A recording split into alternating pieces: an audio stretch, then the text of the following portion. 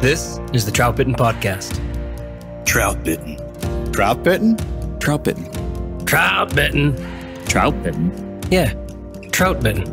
Trout bitten. It's about trout. Wild trout. This is Trout bitten.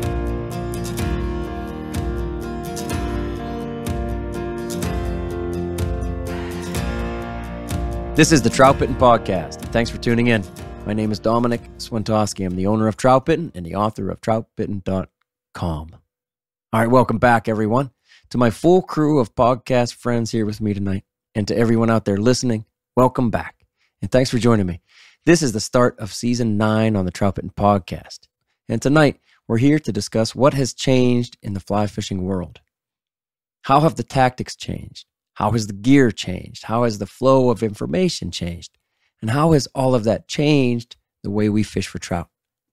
So, everyone gets into fly fishing in their own time. You kind of enter into the scene, and if you could take a snapshot of how things are, like what is popular, what are the trends, and basically how anglers are fishing and what they're talking about, that snapshot and what point in time you start this whole endeavor very much shapes your experience moving forward.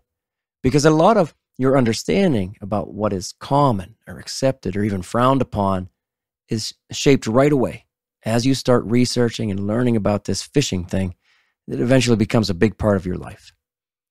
So I meet many anglers these days who just fish streamers, or maybe they nymph a lot but never really learned to fish dry flies. And that's a good example because almost no one did that 30 years ago.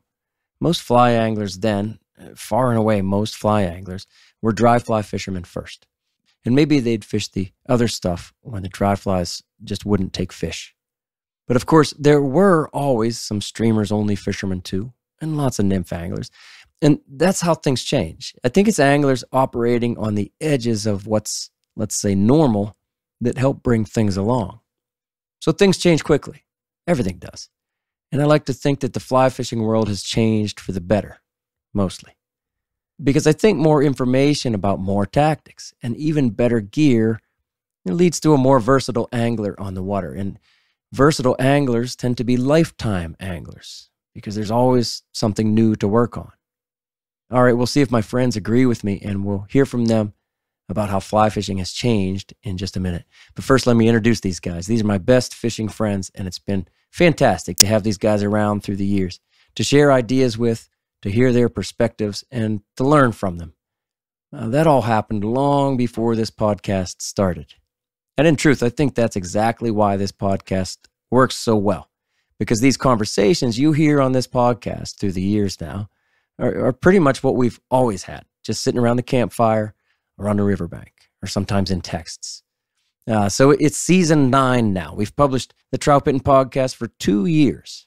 And I think it's fair then to kind of reintroduce ourselves here at the beginning of this new season. So let's do it, guys. Will each of you share just a bit about yourselves?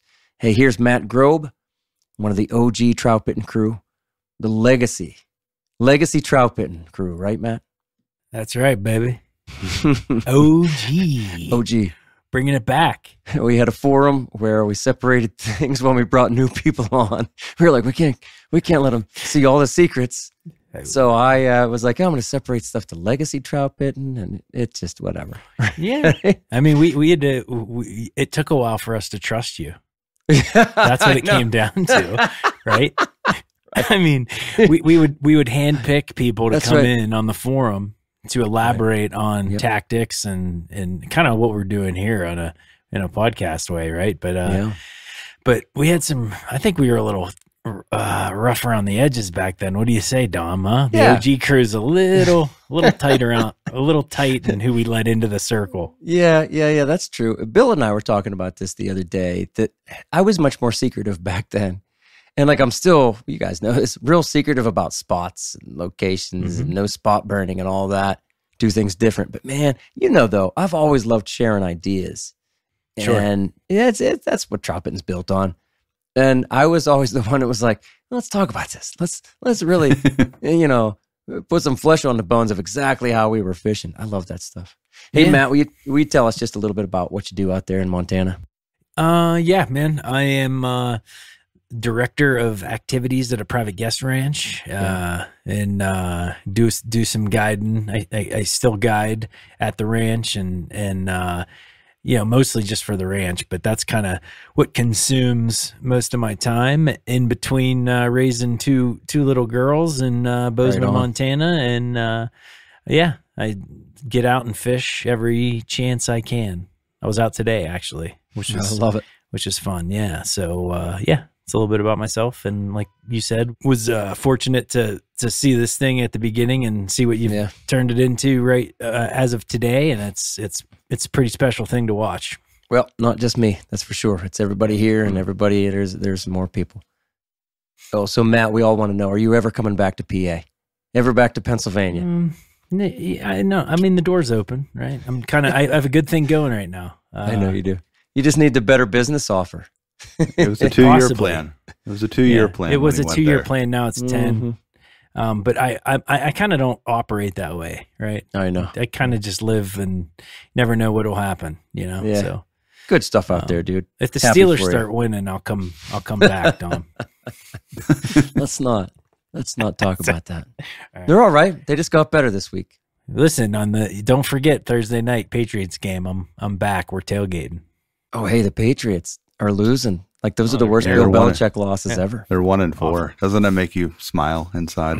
I actually feel really confident we're going to beat them. I know. Well, because in the last two games they got outscored by like seventy points Yeah, that's combined. great. Oh, I love great. it. Let them suffer. Right. Hey, uh, here's I hate the Patriots. oh, if you're a New Englander, just go to hell. You know? Yeah. stop watching or stop Cheaters. listening. Cheaters. Anyway, hey, here's Josh Darling. He owns Wild Media, and he has a lot of kids, right? Uh, he, as Wild Media, he's the one who produces the Troutbitten videos uh, for YouTube, and uh, that's been a great thing. He's done a lot of graphic design for work for Troutbitten as well, and he contributes a lot of, well, probably the best photos. I, th- I don't think anybody's going to argue that. Nope. Josh has the best photos that are on the Trout site, on the Trout site right now. What's up, Josh? Mute. Losers on mute. Not even an adult. Nope.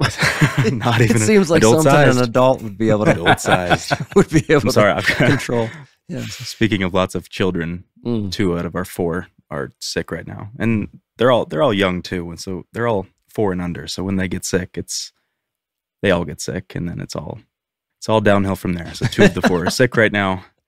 Our six month old is sick, and she's wailing in the background. So I keep myself on mute, like an adult sized person. you could have taken tonight off because you got sick kids, and you could have said, "Guys, I can't make it to the podcast." But we think the reason you're here is because you you just want to drink a beer and get away from the sick kids for an hour. It's it's not a bad deal. Just let my wife take it, and she understands. We're good. But I was gonna say I like your guys' photos. I would I would I would argue that mine are not the best sometimes. Sometimes you hear him slide that in there. Sometimes. Sometimes. it's not mine. Well, I mean, are there not. are times when they are, but not always. You know. Yeah, listen to you. Very diplomatic. Very nice. Anything else you want to No, tell us about you. yourself, Josh? I mean, not not really. I'm That's fine. trying to trying to raise a large family, work two jobs, and and try to find time for fishing and hunting and hanging out with you guys on the side. it's the craziest time you'll ever have in life. I only had two young ones. Two, you know, they're two years apart, and uh, Yeah. mm, man, that was a crazy time. And now they're uh, thirteen and fifteen. It's not easier, but it's different. It's easier. Sure. Yeah. It is. It's easier. Um, it's hard in its in its own way as they get older, and I'm sure you know I'll be saying the same thing when they're um, 22 and 24. But whatever. You're in the toughest time, I'd say. Under four. Guess we'll see. You'll see. Guess All we'll right, see. Here's Bill Dell, another uh, Western PA native. He guides for trout and he shares a lot of photos for the website. Uh, fishes a ton, wears out gear, hates doing everything the way you're supposed to do it. That's uh, my description of, of Delhi. I'm not doing it that way. You mean the more efficient way? Oh, that's good. What else, Del? Tell us about yourself. Oh man. So I guess you know my my day job is and I'm an IT architect, so that's why I like to play with spreadsheets and computer stuff. And so my my my getaway from the office is to run and hide in the woods, so I don't have to talk, work on computers, talk to humans, and just hang out with fish. Right?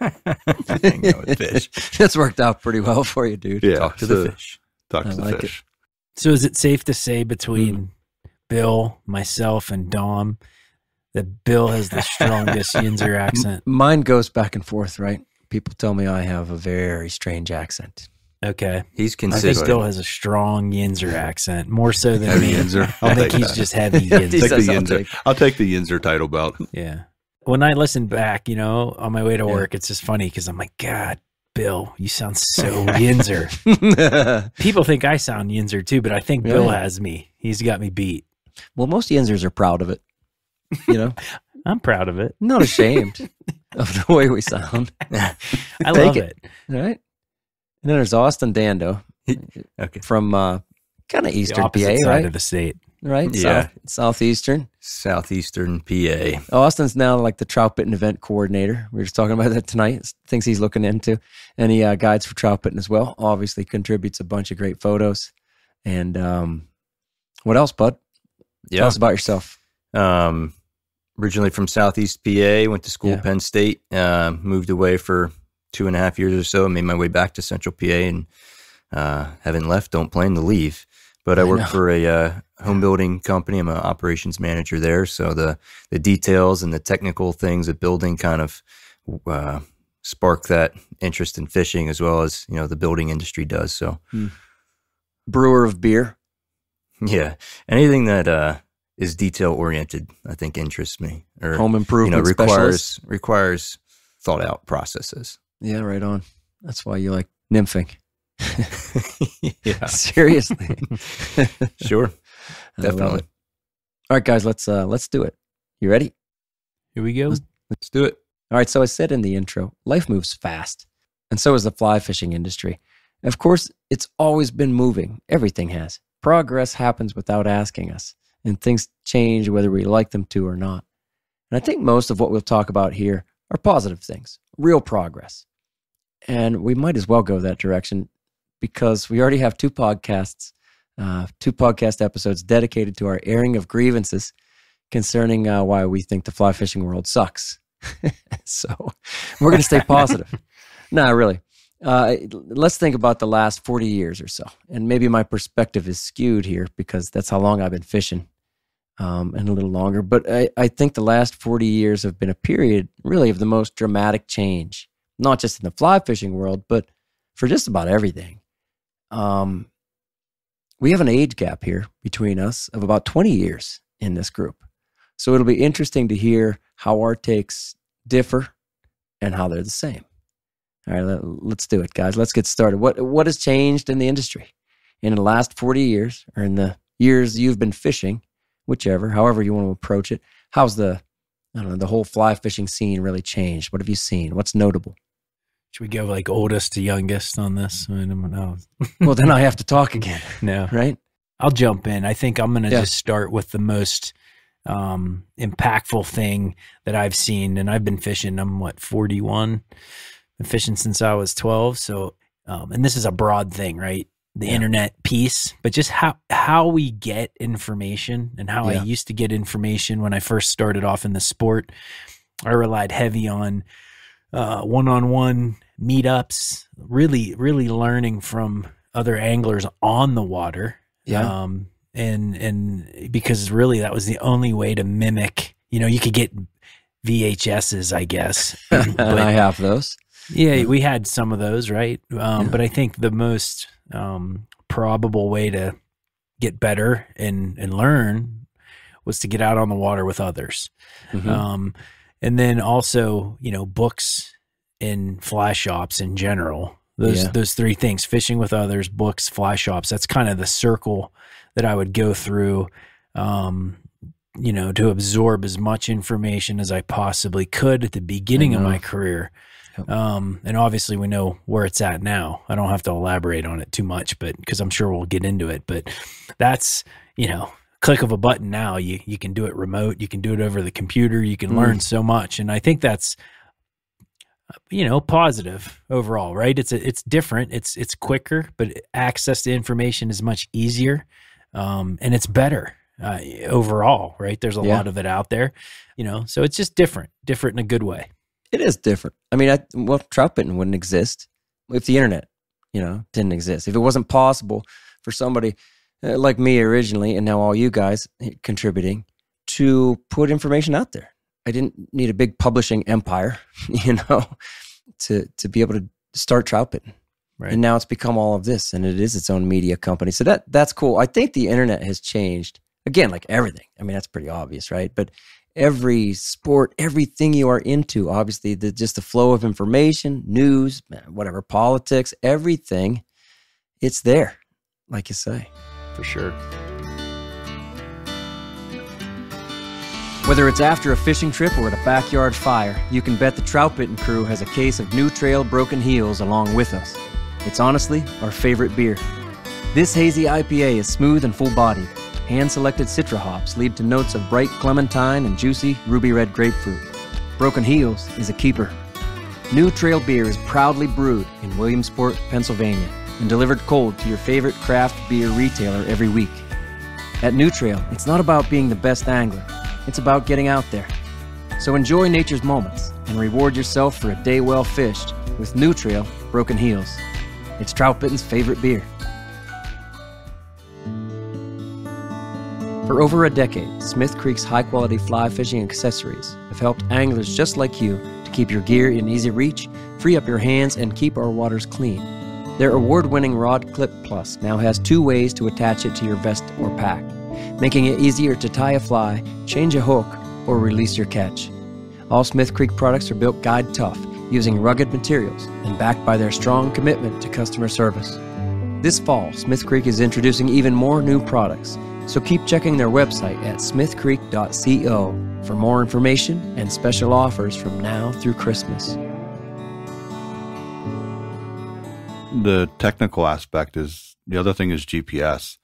Like when we used to, I don't know, when I first kind of started driving around and trying to find fishing spots, there wasn't a GPS, whether it be a Garmin Yep. and a TomTom or whatever. Like you had to use, you had to know how to use a map. And basically at that point, you had to take a buddy because you had one guy that would read the map to you while you tried to drive. And if you tried Right. to do one man drive and map, it didn't turn out real well That's took a little bit longer. And just the ability to just click a button and, and drop a pin and to navigate to that is just huge.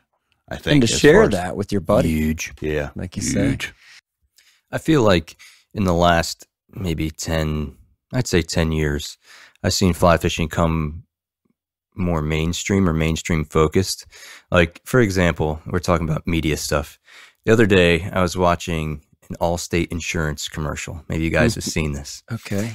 And it's it's going the it's about okay, there's a podcast for this, there's a yeah. podcast for that. Yeah. And then it goes there's even a podcast about fly fishing Right. called Why is that person doing that?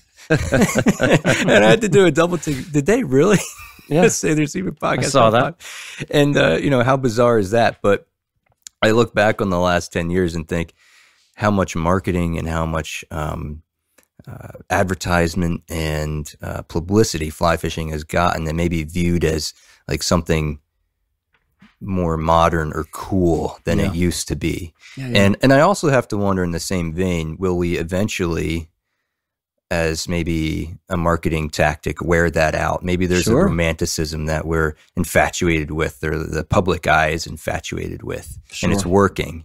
But how long until maybe that's not not the same draw from someone who may not be addicted to the to the sport? Well, and how much did the pandemic push? Like, how much of it is pandemic people sure. that jumped into Yeah. the sport, right? Like that. I always That wondered ties in. that. It like it was like a full, you know, everything in the outdoors blew up, and then you know, fishing, fly fishing in general, Austin was gaining steam, and then pandemic hits, and then it just goes over the top Yeah. with with interest. So where will it settle? I'm with Mhm. you on that. It'll be cool to see where that goes. Will it run its course? Is sort of the question. But I I I kind of counter with this: Will any other fishing ever like overtake fly fishing for that like cool, romanticized kind of style of fishing? You know, that's what for better or worse. That's what fly fishing is seen as, you know, the quiet sport, Uh, right? Don't sure. they call it that? Right. Yeah. Yeah. and, How long until they re- remake uh, River Runs Through It? right, right. I was going to say something like that is sort of what makes that. Like you don't. I don't know if there is any movie that's similar about like bass Well, there- fishing or something like Yeah. that. You know. Oh, There's a new one that's out, right? Not a river runs through it, Not- is it? It There's the River pretty- Y. No, it's a new one, dude. You gotta. You mean mending the line? Yes, Yeah, That's yeah. yeah, it. it's a, a veteran movie. the veteran one. But anyway, It's not the same. It's not even Are based gonna- on the same story though. no, right, Right, right, right, right, right. right, right. But again, there you are, another fly fishing movie hitting the theater. It's like Good, Yeah. good point. Right, how often? Did, well, not ever, except once, one other time. right. and is there a bass fishing movie hitting the theater? We Spinning should do it. conventional tackle. we could make it. I don't know. and, and again, like you hmm. know, you know me, I don't really like that at that aspect of fly fishing because it's the elitist thing almost, right? We're doing something a little different. Well, different's fine, but we're doing something better than everyone. No, we're not doing anything. But it's just fishing. We're not doing anything better than anybody else. It's just fishing, and well, we've been through that. There's no elitist uh, tone to trout bitten, or at least uh, we sure don't want to have that perception. Right. It's all just fishing. But I don't know if it'll run its course, Austin, as far as popularity. I do agree with you. Right. That's something, don't know if it's changed. Yeah, it has. And right, a a lot of people used to, it was a big thing. People would say, oh, the movie. You didn't have to say the name. The movie. The movie changed this. Mhm. Right. And the fly shops would tell you that. Like you experienced that out there, Matt. Everybody wants to fish the Blackfoot, right? Yeah, hundred percent. Yep, no doubt about it. Yeah. Before we move on from that piece of like old school maps and you know just how we gathered information, one of the, Dom, I'd be interested to hear what you have to say about this piece. But what did before USGS stuff, right? Mhm. Like, can you remember? I don't remember at the beginning looking at that back in the early 2000s, late 90s. Like, Right. was that if it was accessible? I feel like it wasn't as mainstream as it is Oh. now. So that was a big piece. You're talking about Like the you CFS, you know? Yeah. Well, I mean, for me, Western What are PA, the if I right? wanted to drive up to Central PA, like, Yeah. whew, you know, and, Yeah. and you know how different the weather is. Like, Right, right. man, I remember showing up and like, what? Right. Why is it muddy? yeah, we used to call the the only thing we had was called the fly shop, and the fly shop Right. would tell you, and and Yeah. you you had to trust to that fly them. shop Right. that Sure. if they were uh, going to give you a valid report or right on. You weren't convince you to come up and buy some stuff. you weren't going to look at their website report because there was no website. It was you had to call them. You actually had to use Right. telephone. And um, that's again like the internet just changed everything in all these ways that we're talking about. Obviously, the GPS too is part of that. I mean, forums. That's how Trout Bitten got its start, right? Sloop set up our forum, put the the title Trout Bitten at the top. It was a private forum. We've been through that. That's how Trout Bitten started. There were what five of us, and then a few more, and then yeah, we added more, and then we had to separate it into legacy. Anyway, it's just that's how it started. And then like there were a lot of fishing blogs when I started trout bitten. Now, don't dare say the word blog like trout bitten, whatever. It's not a blog anymore, Right. you know, and it Right. not And like blogs have definitely run their course, not just in fishing, but across the spectrum. And it's not. This isn't like a daily thing. It's not um, consecutive. It's you know, there's there's no linear timeline to this trout bitten, you know, to the website. It's very much well, just I, I like to think it's good information, good stories, commentary, whatever that is somewhat timeless, right? So it's not a blog. It's not a blog format, but that was a thing back then. You Sure. could probably sit here and name a dozen blogs that we all used to kind of read and, and follow. And of course, that branched out into Facebook, YouTube, Instagram. Instagram's big right now, man. I mean, I feel like the whole fly fishing Yeah. community, or a, a good, good portion of it is right there. I, I'll get, well, I mean it. Like the 70 year old anglers that I have are on Instagram, fly fishing. Like they get it. Yep. At least a portion of it, you know, they, they get it. They're probably listening to this pod. A lot of them I know are listening to this podcast. I don't feel like there's an age divide much anymore with social media. Like it used to, honestly, like my dad does not have any social media. And he's mid 70s, but he just never got into it. And he never will. And that's fine. But he hardly, listen, hardly listens to the podcast, even. Um, certainly doesn't watch many YouTube videos.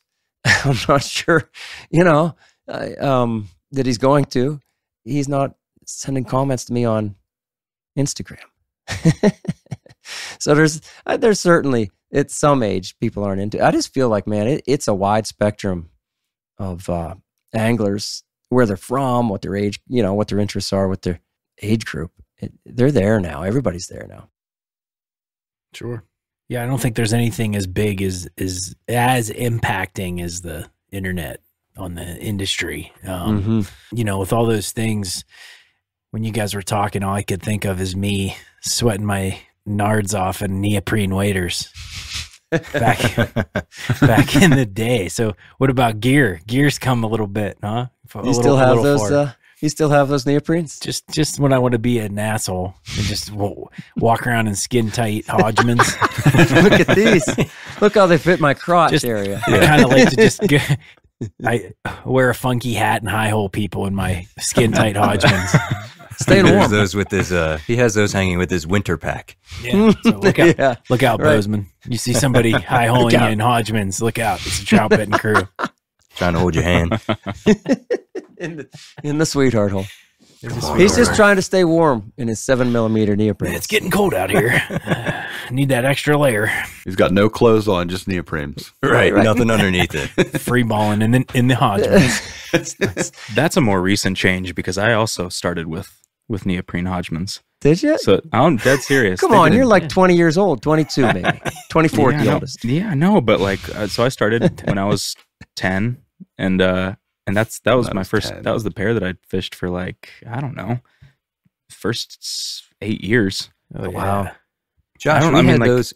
I think you had a pair of those in college at one point I probably had my old pair. with yeah, the boot foots on them that would Oh, like, yeah. wear your ankles to death.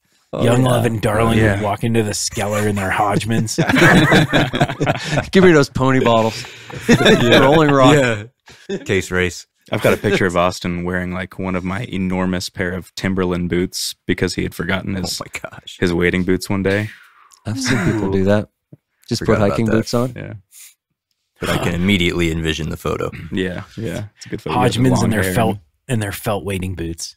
Nice. Exactly. so all I'm saying is it wasn't it wasn't it was somewhat recent because I remember like when my dad got the first pair of like Orvis Silver Sonics or something like that, Nice. and yeah. uh, and that was one of the, that was one of the first breathable pair, I th- or like like higher end breathable pair, Sure. I think. Well, so I dare say I have. I might have had the first generation of Simms. Um, I'm not positive of that, but but oof. I mean, there's nothing. There's there's nothing. There's no gaiters. There's no pocket. There's no zipper. Gosh, there's certainly no zipper. There's no zipper anywhere. There's no pocket. Um, it's just you know a tube. it's like a tube you step into that has two legs. and I think they're Probably probably, three layer too. Gore-Tex. Yeah. Um, still have them. They're actually downstairs. They have so many holes and tears and patches in them, but I've just kind of kept them for um, yeah, for old times'. Might be worse. Late '90s, man. Late '90s. And I don't know. I'm not saying I had them as soon as Simms came out. When did Simms start? Does anybody know that? 94, 90. Is that right? So So, well, I think it was Says on bought one of our by- hats. It was bought. It was bought by KC Walsh in Huh. 94, 96, I think. You got to look that up. I could be wrong, but uh, and then they transformed it from that from that point. So you probably have Yeah. early on version, which is super cool. mine I'd have been like those. no, well, right. put 'em Antiques. on- You're Yeah, gonna put 'em on raffle eBay. them off on eBay. That's Those right. are vintage. vintage Simms. um, they smell pretty good. The I bet it was 95, 96 when I got those. Probably. And I bet, anyway, I bet at this point, um, you could just sign those bad boys and put them in a frame. there you go. You yeah.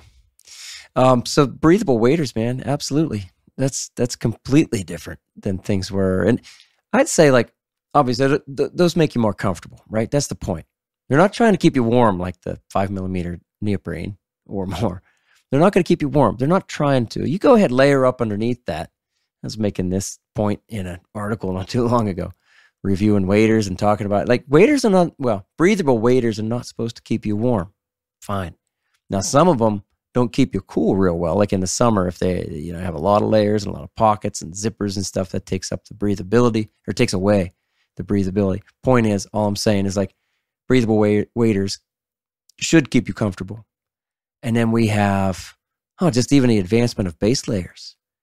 and you know, Doctor Wool isn't with us tonight because he's got some family obligations, but he got me going on how much wool has changed, and uh, Josh, you too. Um, Yeah. just saying like these these guys were hunting in wool base layers, and I was like, really wool, and they convinced me. And we've been through this on season one of the Different world. podcast. It is. Yeah. it's a different world. I mean, we all wore like those those uh, cream colored waffle long john made of cotton, right? Like that was the Yeah, stuff yeah. back then. Yeah, yeah. Used to call those t-shirt pants. Yeah. yeah. T-shirt pants. That's what they look and feel Like, like. I, I don't know why we ever thought that that was going to keep us warm. No, and and everybody smelled funny, right? Oh, when you were in yeah. those, you just smelled bad. You Like. Well, I I drove to the river with Bill the other day. Uh, never, never mind, never mind. There was a scent. Bill Dell smelled. That's right. Tacos for breakfast. Ooh, hey now. Hate to see Hey, that. nah. Hate Probably to see from that. Sheets. Giving you the business on the way over. You're talking about those neoprenes with your Hodgmans with the uh, boot foot waders. I mean, stocking foot waders. I think that's a big change, man.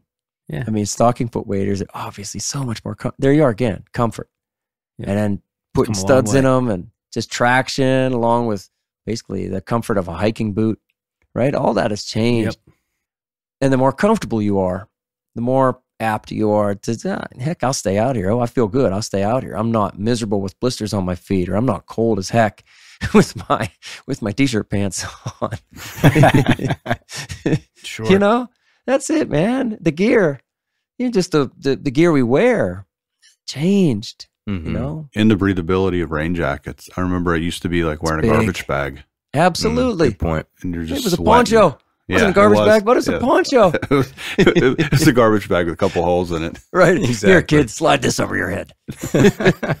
Come on, Dad. The right. He'd say, just wait under the bridge. You'll be okay. It's a bright blue. oh, yeah. Right? We all did that. I didn't get a nice breathable rain jacket until this year. I've been fishing Really? like super old stuff for, I mean, forever. Or the cheapest nice stuff, like Patagonia's cheapest line of rain jackets, which No, it still counts. it's It's still really nice. yeah, Hey, that's maybe. what I wear. Better than a poncho. It's better than that's right. The garbage bag poncho. yeah, obviously it makes a difference.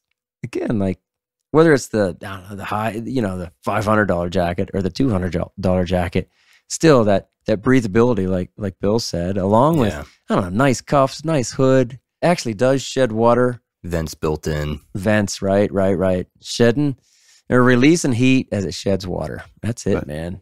Vents have been huge, I think, just in rain jackets. Mm-hmm. Mhm. In all kinds of layers. So what about the gear with the uh, you know the actual the actual equipment? What about rods? Rods have changed, right? To, You got for lighter for better. sure. Mm, later and faster. Like if you pick up a rod that was labeled as fast like 10 years ago and you try to cast it now, you're like, man, this thing's like a I know. this thing's like a bamboo rod. Mm-hmm. That's somewhat driven by tactics too, and we can get into tactics also. But you know, with modern nymphing or, or uh, heavier streamers or bigger flies, those fast or really stiff rods become more useful than maybe they used to be 20, 30 years ago. Think those faster rods allow you to do different things. One could be faster or just different action rods allow you to do different things. And we've talked before about how the specialization of the industry. Uh, yeah. Basically, if you want to just throw wet flies beyond 50 feet, you know, between 50 and 75 feet away, which is pretty dang far, obviously. We got a switch rod you- for you. Right. We got a rod. That's right. That's right. That's what I was thinking. Like, we got a rod for you. And whatever you're into, we got a rod for that. We got a rod for that. And they do. And they are quite well designed, I think, usually um, for the purpose. And versatility used to be the game. Used to be like, hey, you, want to get into fly fishing? Kid, okay, here's a nine foot five weight and you're good. You can do everything. Yeah. But, but now it's really specialized tools. There's still versatile rods. That's great. Um, but it is confusing. I guess that's part of the downside here of all the things we're talking about. Really, everything we've brought up, it can all confuse the hell out of you. More choices, more options, more Yeah. problems. A lot of positive change too. There, they solve a lot of issues. If if you're really into one style of fishing, Mm. that rod can be a, a great thing for you. Yeah, and it can allow you to fish the well the way that really does work best for your waters, your goals, length, speed. Um, yeah, the, even the design. What graphite, right? When I when Mhm. I was first buying a rod, there was still a lot of talk about fiberglass. Not that there isn't now, but well, come on, right? It's graphite. you still got your fiberglass guys. Come on. Hey, come on, I'm not laughing at the fiberglass guys. Come on, Austin, stop chuckling. What's he doing? You're gonna make enemies. I said nothing. There's there's nothing wrong with glass. I don't get it. It's not dead. You ever cast them, Matt? No, dude. Spend much time? I, I cast a, a. Someone gave me a bamboo rod once. Yeah, that Okay, and I set Mhm. the hook and snapped it like a oh man, it's probably like a thousand dollar rod. And ever since then, I was like, hell with that. I'm not. I'm not. I, I don't need that. Like, No, I don't need it. I just no. I don't want to cast your glass rod. I don't want to cast your bamboo rod. Right, I know. I need something that's gonna hold up. That's funny. That's funny. Not that they wouldn't hold up, right? Just that Matt Yeah. is, uh, you know, a bit of a Sasquatch. I'm just very violent. Yeah, that too. I don't. I don't mess around. I don't need shit failing in the. You know, I'm not trying to catch a four inch fish. Right to the point. So many enemies. I had a graph uh, fiberglass rod for Yeah, for about two years, and then I sold it because I thought it would be a great idea to take it brook trout fishing because it would be more sensitive and it would, right. you know, those four inch fish would fight a little better. yeah, But um, I quickly learned that that that fiberglass rod doesn't turn over quickly, and so when you got to Yeah. turn it over quick in the rhododendron, you just end up in a rhododendron all the time. So I know. that one went up on eBay. No, I'm with you. It, what's the one that? What's the yellow one? I have the Butter well, there's the stick. Redington butter stick. Oh, the Butter butter stick. the stick. Eagle What? Claw one. Get out of There's here. a the butter stick. Oh, the yellow. Oh no, no, no! Oh, I think the I have the Eagle Eagle Claw. Oh, I I still have that one. I own the Eagle Claw one as well. I actually Right. like that rod. That's yeah. fun. It's slow. Let's go. Oh. I mean, compared to all what? out. Six foot Let's have a six glass inches. rod competition. That's right. Glass off. Again, again, like, Yeah. hey, you know, whatever. Like, If that's do what it. they like, I mean, look, I'm not trying to shit on the glass rod you guys kinda and the bamboo. with your If you have a trout niche collar. and and you want to try to catch fish with bamboo, you're better than me. Like, I mean, go for it. I just I can't wrap my head around it. Horsehair Right? leader. I don't Oh, know. yeah. It's like, why Only do you want to horsehair do that? But whatever. Cat gut. I'm on the cat gut. He's on the cat gut. Kill my own cat. Oh no, no, never mind. Back it up. Back it up. Ooh, hey now. Oh, I don't know. hey now. Again, like You well, could just roll the last 30 seconds as the outro. no. You don't even need How to about- edit it. how about this? How about this though? It, it- I, I think it goes along with what I said in the beginning. Wherever you get into fly fishing, it, it shapes your frame of reference, right? So I got into fly fishing when graphite was the thing, and it was definitely the thing. It was well established, and I'm like, I'm not. I guess I'm not getting fiberglass. I'm not going to do this bamboo thing because they were much more costly. And I'm okay. I'm going to get myself a nice medium fast graphite rod. That's what I did, and now everything bamboo feels like, come on, man, load. Let's go, load back there. You ready? Okay, here we go. Same thing with glass.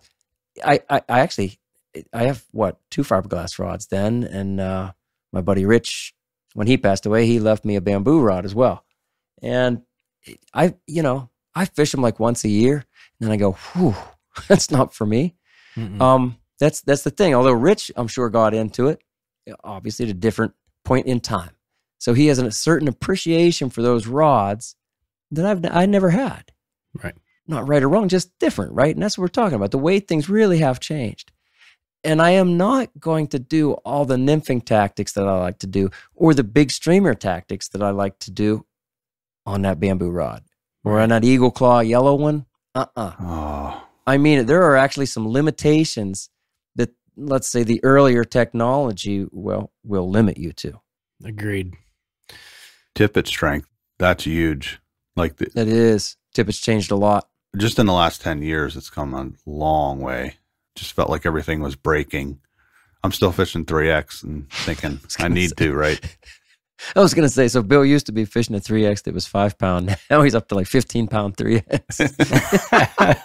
he's like, he's like, I'm good. I'm not I'm changing good. my diameter for anybody. Just keeps getting better.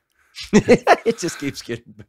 Now I can land sharks on it. I was going to Mm, ask that's if he charged his battery. Who's that? Darling, darling, Oh, change or no. charge battery. I got oh it. no! I got it. No- nothing goes away. He's still He's, there. he's in. He's in. We've never Classic. seen that. We've never seen that sign. Classic come adult. up. I've never seen it. All we see of his face is gone. What we see, uh oh, you know, he's Uh. blanked out. All we saw was a red battery image that said change or charge battery. It's like you've been through this before, and it seems like an adult would have like been prepared for that. That's what, that's what Trevor said. Listen, listen. Listen, if we were to if we were to record video, then it would Mhm. matter. And then it would matter. Yeah, And- it would matter. You're and right. you would all look like goofs. so someday, because things are changing, Josh, and many people expect or, or want or even now expect you to have a video along with your podcast. They want they want the video. It would probably So? do great. We're gonna have to change. It would do well. Anyway, we'll have to change at some point because everything changes. I still think it'd be really sweet to do as one of our one of our videos, do a live podcast in Mhm. one room. Oh yeah, Make a sweet in one room too of would really change things. Yeah, No, we still need to have call-ins too, Dom. I know. So Austin and I have been talking about doing the YouTube live Wanna- thing, Yeah. and you can that'd be dope. definitely do it during that. That'd be that'd If be we neat. do it, I'm going to sit in my Hodgmans. I'll just I'll sit here and hold my uh, fat, my uh, yellow. with my glass with my glass rod. Yeah, right. Hold your what, Bill? Yeah, what are you holding, Bill? Eagle claw Darth featherweight. Bill holding. That's Eagle can hold. claw. Hey now, Uh, okay. All right, back on. Old back on. stick. Back on. Get back on track. Come on, man. I want to I want to switch gears to tactics You get and specifically uh, specifically nymphing, and we're going to go back to the last ten years again, where like when I was in college, Mm. when I started with the mono rig stuff. So like five years ago, no, I wish it youngest was. at guy. point. Are you the youngest, or is, or is Josh the youngest? No, I'm the youngest. Okay, I thought so. Young Well, love, let, let's say uh, let's say eight eight years ago, right on. Ooh. And I know. yeah, yeah I know, I'm jealous. Seeing people nymph with a fly line was common, right? That's like what everybody. Oh yeah, every tactic was based off a fly line. And if you saw somebody fishing with a long leader, it was like, huh, that's rare. But What's he you know, doing? I'm learning the same thing. Mhm. And now it's almost uncommon if you go out and you see somebody nymphing with a fly line. especially around here. Yeah, and that's yeah, you great point. Very specific to our central PA area, but it's uh it's most common now, I would say, Mm-hmm. to see people nymphing with a, a long leader or a, uh monorig or Euro style leader. And uh, I'm not sure I would have expected that. I agree. If you would ask the Magic Eight Ball when you were in college, With the magic eight ball. What will people be nymphing with? yeah, What you will know, they look like on the water? They would because look it's such a foreign thing. If somebody sees you doing that and they want to know, like, what Mhm. what material is that? What's chameleon? Oh, Never heard of it. Right. It's come a long way because the internet. Again, I, I just think it's the accept. It's not just the acceptance of information that it is accepted because there's so much information out there, and then you know it's one of those things that as soon as you try it, you go, "This tight line thing makes a lot of sense for flies that are under the water." And we you can do all these rigs. We've talked about it, like how now a micro mono rig gone like six pound or five pound or whatever, like five X. You know, your whole leader. Some people are nymphing with a leader that's all five X. Cool, go do it. Anyway, that's like going to the end of the line. That's as far as you can go um, away from, let's say, traditional fly fishing, right? And it's, I think it's very much accepted, at least in kind of our circles, right? There's people that frown upon this. That's fine. More Anyway, it's like- than it ever has been. Uh, right, right. Anyway, it's like the main thing to do in the competition circles, and so very much accepted. Well, in that way, right? It it's. I think the internet has provided that space for everybody to kind of do their own thing and be somewhat accepted, except for Matt. Look at him. As fly anglers and tires, we understand the value of having the right tool for the job. AvidMax.com offers over 20,000 products and the knowledge to help you find the right tool for your job, whether that be at the tying bench or on the water. Listeners of the Troutbitten podcast receive a special one time discount code at avidmax.com. Enter the code TB10 at checkout on full priced items to save 10% off your order. Orders over $25 ship for free, so you can put more gas in your tank or beer in your cooler. For all things fly fishing and tying, elevate your game with AvidMax.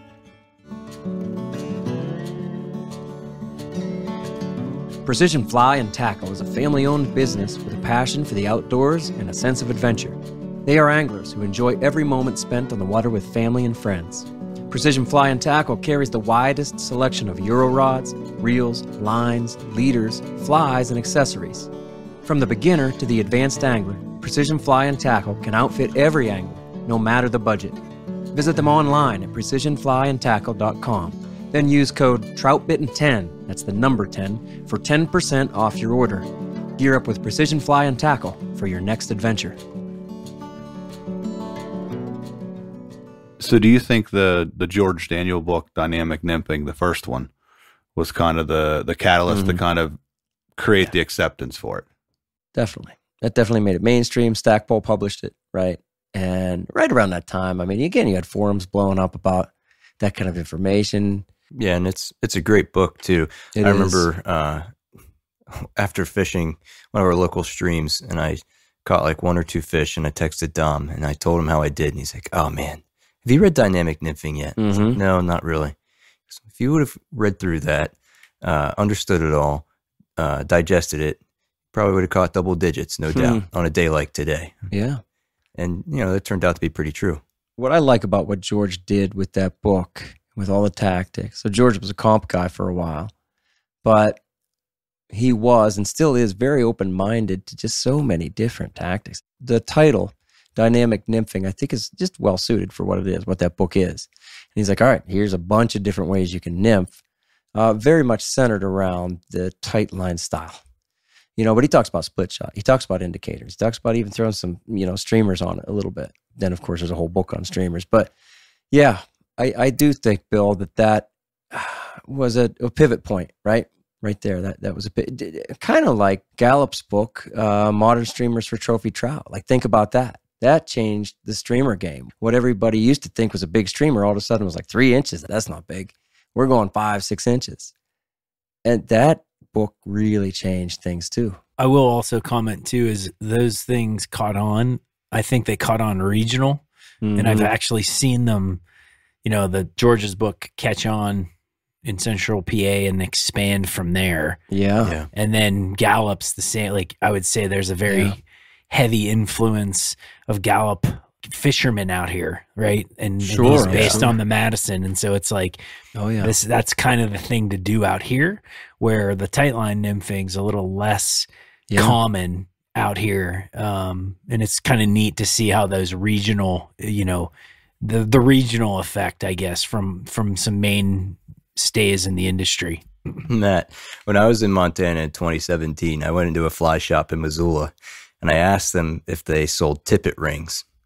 And the guy said, Oh, yeah, absolutely. He brought me over to uh, a counter and he Mm. tried to sell me uh, loon rigging foams. and And I had to politely, politely say, Oh, you know, I understand why you you thought I meant this, but I was actually sure. looking for something different. Oh yeah, Might not be good- that way it's now. a great point. No, it's still It's a it's, you know it's still, you can you see you see it happen. You see people you know tight line nymphing, and uh, it's definitely not as Yeah. common though as back home. Your waters aren't as perfectly suited for it as Mhm. ours are either. Nope. Though. And just Correct. like the Galloup sinking line, big streamer style, and I'm generalizing there, but that's not as perfectly suited to our waters as it is to yours. You know, Yep. Lo- bigger rivers, longer retrieves, and stuff suit you. Let's say better than that, better than the water I was on today. Yeah, yeah. Sure, sure. Eh, all that stuff spreads faster though out of your region and out of this region again because the internet and again be- eh, yeah, because people too i think have spread out you know that. I mean people don't always just stay in their hometown anymore. There's you matt. Sure. you're, you're far away from your hometown. And so are so are you austin a little bit you know? And and josh obviously that's a factor too. People spread out man and then they, they're going to take those ideas along with them. There's more acceptance of those tactics, the the spreading of those tactics around, and I think the hybridization of those kind of different tactics. Hey, let me try adding this streamer thing to the tight line game. That's pretty Sure. cool, you know, and that's a whole style of fishing itself now. I think if you can learn one of the tactics on any river system, bigger river system, you can probably take it anywhere in the country and apply it. Mhm. I'm with you there too. Mm-hmm. And apply it might mean there's going to need to be some adaptation. Maybe Yeah. it needs a longer tippet, whatever. It, it might need a longer butt section or a, a faster sinking line or whatever the case is. Yeah. Yeah, you can apply it almost anywhere. If you learn it, if you know that tactic kind of inside and out, you'll go, ooh, this will work here. But I have to do these two things to make it work. And then you can really do some neat things. I, I think I think that's what's fun. You know, is is thinking how can I do something a little different or take what I know really well now to this new river that's kind of confusing me. But like here are my here are my good set of skills, my best set of skills, the things I do best. And you know, how can I adapt them to maybe to this new water that I just maybe you just moved, you know, you just moved halfway across the country and like I'm I'm gonna try to still fish the way I do. Matt, that's kind of what you do, man. Right? Sure.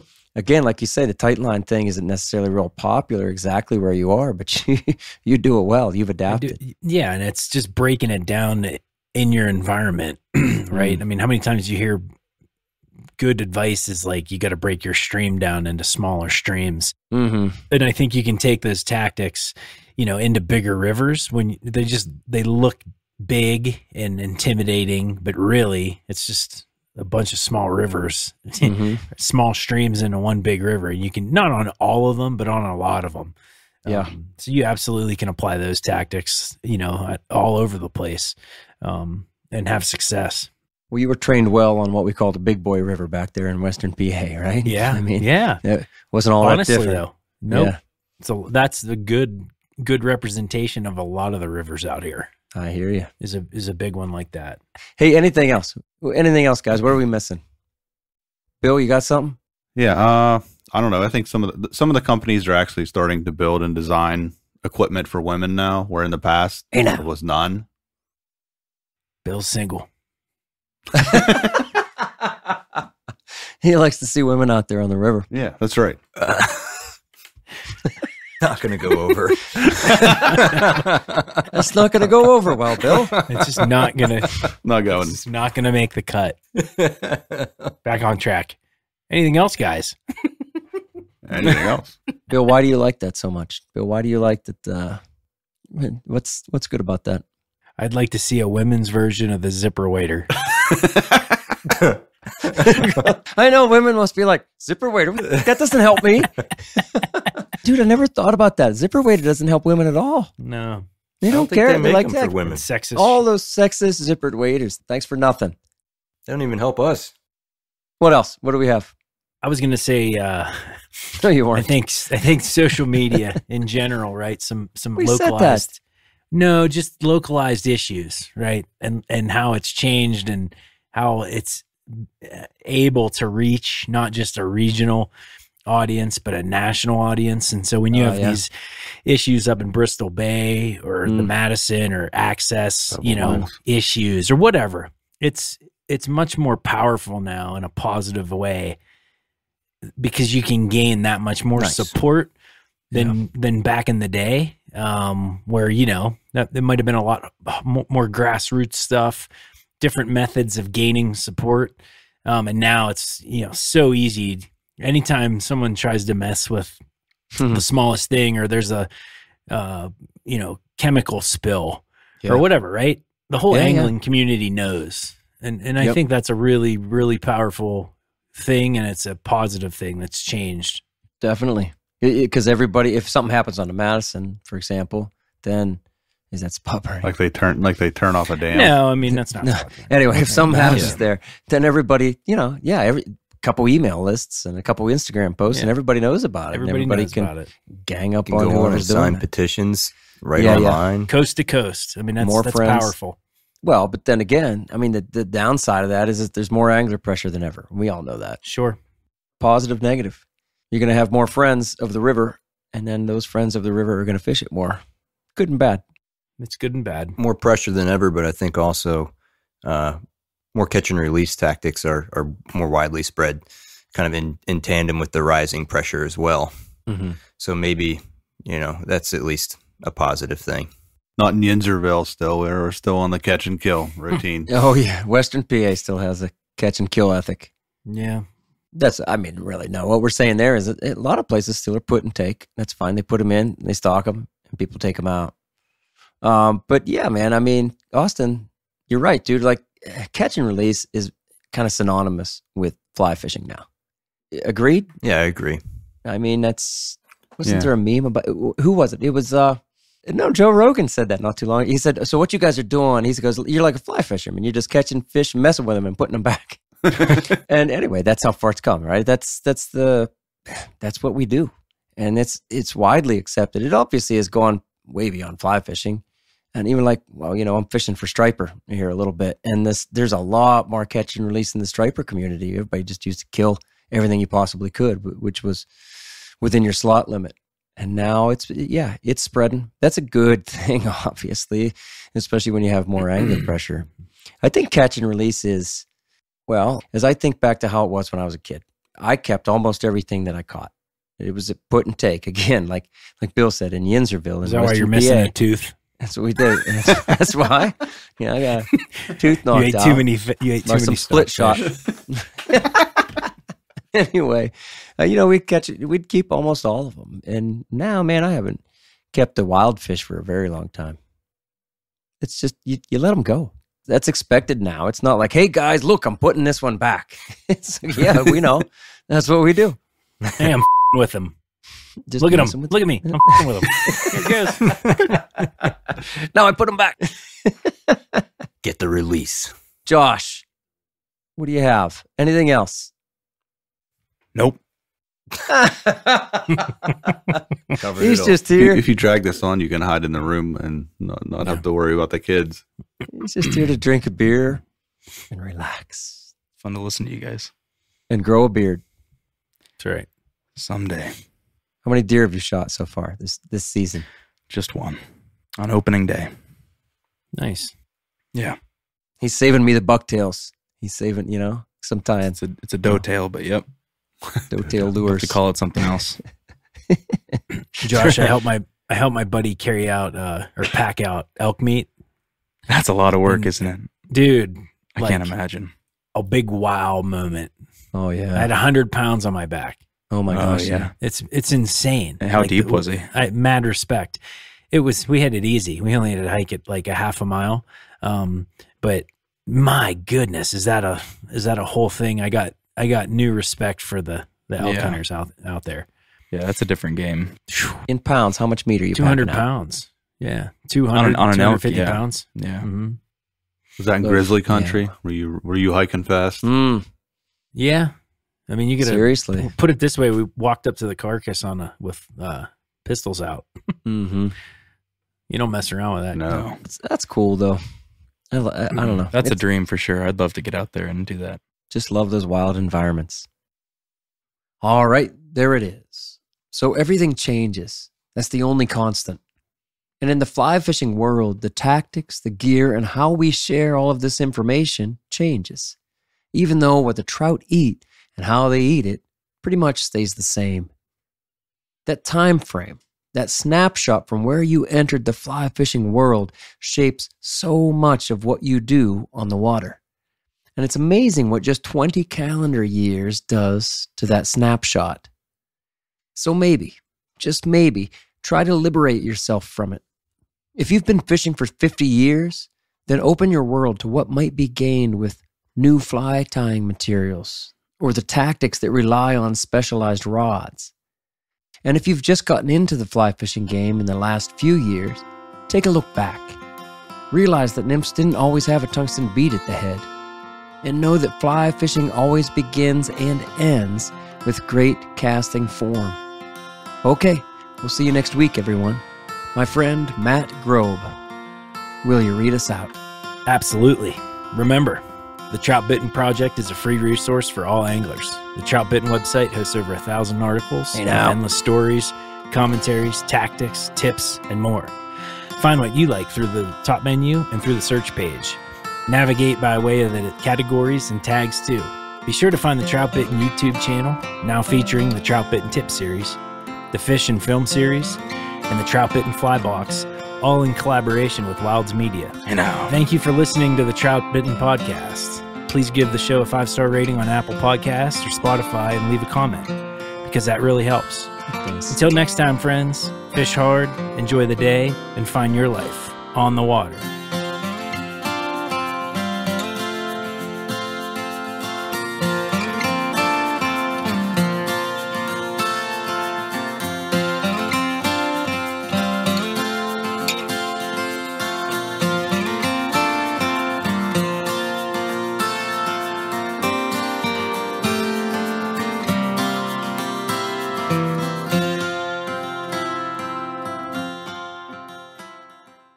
Let them suffer. That's right, baby. I'll take the Yinzer title belt. Walk around in skin tight Hodgmans. It's all downhill from there. Look out, Bozeman. Ooh, hate to see that. More choices, more options, more problems. You're better than me. Like, I mean, go for it. Come on, Austin, stop chuckling. And I was like, hell with that. I'm not, I'm not, I, I don't need that. Like, I don't need it. That's not big.